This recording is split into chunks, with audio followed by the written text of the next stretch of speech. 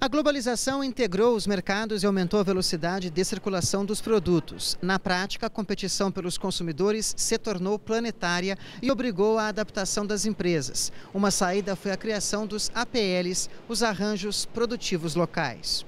São aglomerações de empresas localizadas em um território, né, que mantém uh, com uma especialização produtiva e que mantém uma articulação e um vínculo de cooperação, aprendizagem, inovação é, entre as empresas e instituições públicas e privadas. São 677 arranjos produtivos locais no Brasil. Empregam 3 milhões de trabalhadores e envolvem 59 setores produtivos, somando 292 mil empresas. As áreas aeroespacial e de tecnologia da informação estão entre as mais representativas entre os APLs brasileiros. Marcelo Nunes é gestor de dois deles em São José dos Campos, no interior de São Paulo.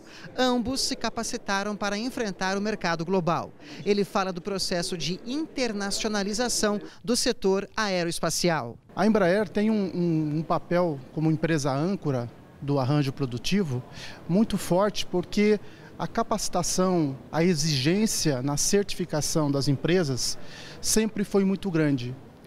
Isso é, favoreceu que as empresas ganhassem musculatura e conseguissem alcançar outros mercados. O Brasil tem uma política de incentivo aos APLs com 33 instituições públicas e privadas e 27 núcleos estaduais. Além do apoio financeiro, as ações envolvem uma conferência nacional sobre o tema, realizada a cada dois anos. A oitava Conferência Brasileira de Arranjos Produtivos Locais tem como tema o aumento da competitividade das empresas brasileiras, tanto no mercado interno quanto no exterior.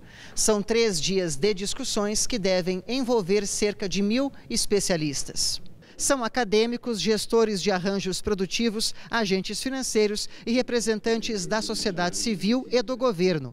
O ministro da Indústria, Comércio Exterior e Serviços participou da abertura do encontro e falou do apoio do governo aos arranjos produtivos locais. Nós concluiremos um programa do Ministério até o final deste ano, que lançamos no ano passado, chamado Brasil Mais Produtivo ele até o final desse ano atenderá 3 mil empresas que estão instaladas preferencialmente em arranjos produtivos locais e houve um investimento desse projeto de 50 milhões de reais.